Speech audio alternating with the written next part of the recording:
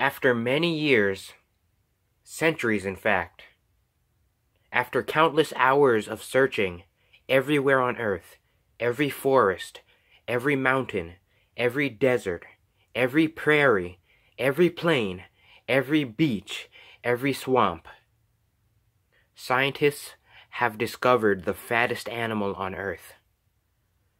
They didn't believe it when they saw it, but they knew it was true. It's the fattest animal on earth. Your mom.